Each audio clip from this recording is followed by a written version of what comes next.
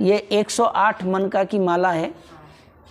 इससे हम 108 बार आहुति छोड़ेंगे, हैं?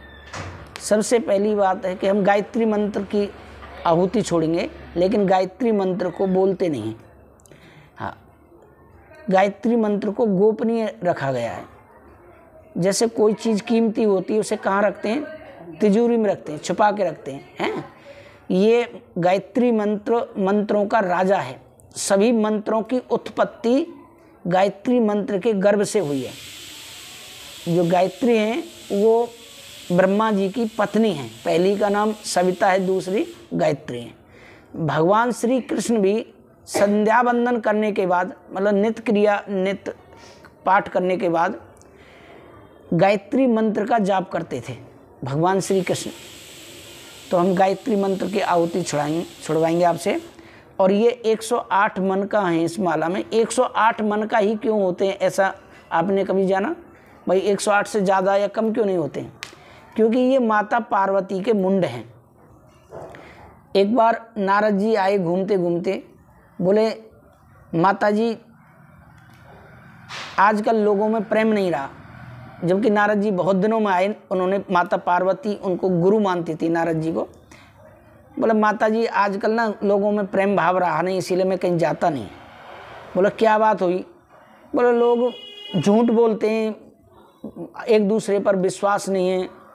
बोले, नहीं, ऐसा तो नहीं जो मेरे भूत भावन, भगवान श्री भोलेनाथ हैं, वो तो इतने अच्छे हैं कि उन्होंने तो मेरे को गुरु मंत्र भी बता रखा है, जबकि गुरु मंत्र किसी को बताया नहीं जाता है। और भगवान शिव का गुरु मंत्र क्या था? राम। जो राम नाम है, वही भगवान भगवान शिव का मंत्र था। बोला, उन्होंने तो मेरे को गुरु मंत्र भी बता रखा है, इतना भी छिपाव नहीं करते। बोला, पक्का है, आपसे कोई छिपाव नहीं करते? बोला हाँ। अच्छा ये बताओ कि उन्होंने जो मुंडों की माला पहन रखी है गले में, वो क्या है? अब माता जी वहीं चुप हो गई, बोले, ये तो नहीं मालूम। बोले, इसीलिए तो मैंने आजकल आना जाना कम कर दिया है। लोग एक दूसरे पर प्रेम करते नहीं दिल से। इतना सुनते ही तो माता जी जो है का बिछड़ गई, नाराज़ हो गई और कोप भवन में जाके बैठ गई और बाहर जब जाने लगी तो भगवान शिव से कहने लगे, बाबा, आपको माता जी बुला रही हैं अंदर। बोले, बाबा, मुस्कुरा के कह रहे कि नारद जी, ऐसा हो ही नहीं सकता, आप आओ और माता जी ना बुलाएँ। आपको मालूम ही है नारद जी की कैसी वो है। बोला, ऐसा हो ही नहीं सकता है कि ना, आप आए और ना बुलाए। तब जिद करके माता पार्वती ने पूछा भगवान शिव से कि ये 108 मुंडों की माला ये क्या है? तो उन्होंने बताया, आपने 108 बार जन्म लिया। तो फिर मुझे कैसे मोक्ष मिलेगा? मुझे कैसे मुक्ति मिलेगी? उन्होंने कहा कि इसके लिए अमर कथा सुननी पड़ेगी। तो आपने मुझे क्यों नहीं सुनाई? बोला, मैंने पिछली बार भी सुन, सुनाने की कोशिश करी थी। अगस्त मुनि के पास जा रहे थे अमर कथा सुनवाने के लिए। लेकिन वहाँ क्या हुआ कि भगवान राम और माँ अपनी पत्नी के वियोग में घूम रहे थे जंगल में। हे खग कर मृग का श्रेणी, तुम देखी सीता मृग नैनी। तो वहीं से ही भगवान शिव और माता पार्वती गुजर रहे, जा रहे थे अगस्त मुनि के आश्रम में। तो माता पार्वती को शंका हो गया। शंका हुई कि, बताओ, ये कह रहे हैं कि भगवान है और भगवान होते तो ये पत्नी के लिए इस तरह से घूमते हैं तो माता पार्वती ने उनकी परीक्षा लेना चाहा और परीक्षा कैसे ली? वो सीता जी बन करके राम के सामने खड़ी हो गई। बोला, राम, में आ गई। राम, भगवान, वो तो अवतार थे। ब्रह्म, विष्णु के अवतार थे। बोला माता जी आप कैसे?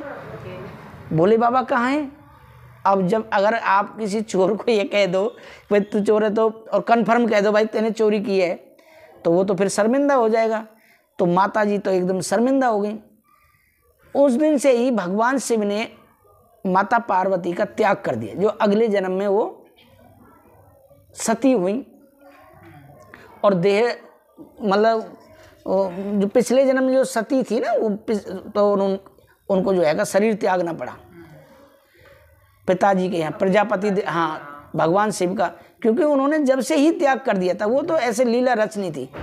तो ये माता पार्वती के मुंड हैं 108 इसीलिए हम 108 मनका की माला जपते हैं। ठीक है? तो अब हम गायत्री मंत्र का जाप करते हुए आहुति छोड़ेंगे और मनी मन में आपको गायत्री मंत्र का उच्चारण करना है।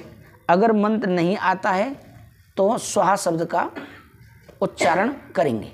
ठीक है? चलो